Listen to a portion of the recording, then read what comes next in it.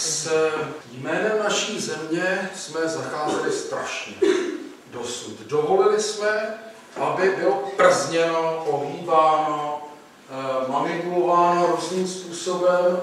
Eh, tohle je obrázek, tuším, z Nagana z 98.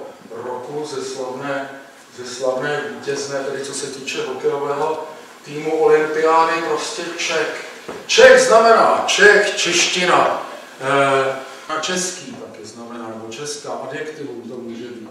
E, takže je to prostě něco, jako kdyby si, kdyby si uh, holanděni napsali, pardon, nizozemci, tedy holanděni uh, neformálně, nizozemci formálně, uh, nebo uh, oficiálně, napsali na Dres Dutch, nebo Němci German, nebo uh, Poláci Polish, takže uh, to je špatně.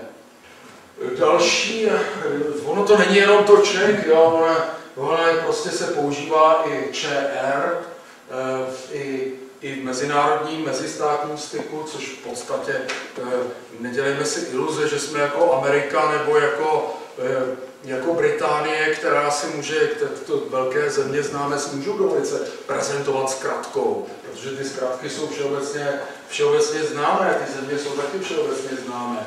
Takže mm, nedělejme si iluze o tom, že Eh, svět pochopí naši eh, značku, z naši zkrátku CR nebo CR v angličtině snad by to mohlo být.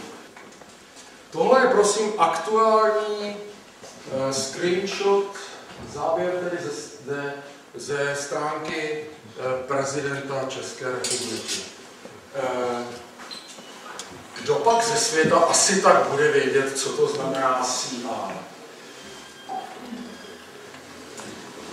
CR znamená Kostarika. Je to oficiální, eh, oficiální kód, jak ISO, tak co se týče automobilových značek Kostariky. To znamená zase, zase úplně tedy střelba mimo. Eh, tady je taková obezlička. S tou obezličkou eh, se, stá, se setkáváme eh, velmi často, abychom jako dali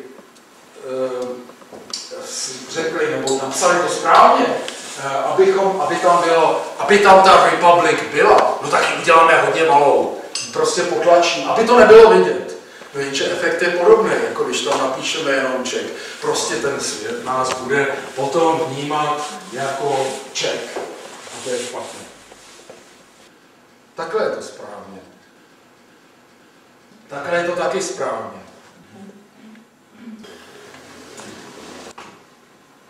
takhle by to všechno bylo správně.